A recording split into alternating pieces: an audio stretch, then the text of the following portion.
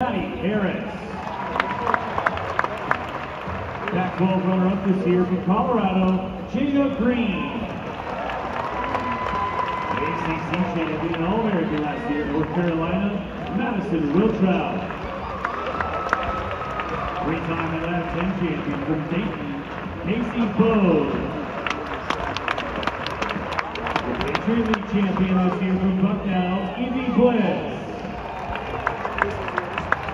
Former Big 12 champ, Oklahoma. Nine-time podium finisher here.